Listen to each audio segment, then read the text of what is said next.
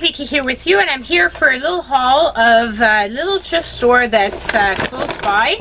Uh, I was on the lookout for some jars for canning because I've been canning a lot and I was looking for some wide mouth but I didn't find any but I did find three of these so I grabbed them because it's it's really quite inexpensive there. There's no price but usually um, by the time I get out, it I haven't spent a lot of money. So I got all of these. I got this cute little bowl. Know me and little bowls. I just thought it was really, really adorable. So I got that.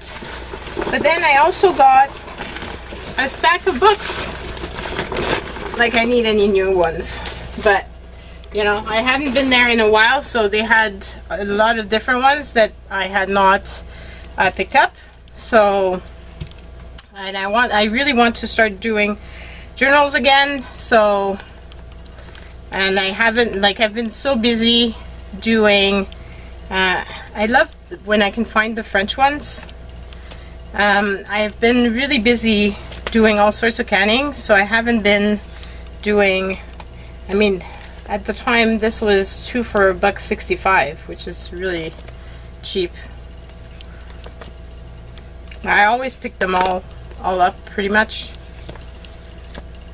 This one has seen better days, but I still think it's a fun story and I can integrate it into one of those books. Here's another French one. This one lost its uh, gold uh, trim.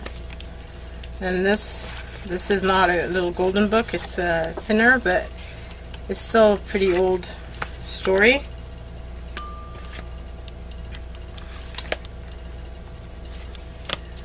That. This. Just thought that one was adorable. This one is the wider side size, which I don't find very often at all. Then a whale. And finally these two. So all this that I got, I got for 10 bucks. So I thought it was a pretty good, pretty good deal. Uh, and uh, just wanted to share it with you guys before I start using my jars. So that's it. Bye everyone.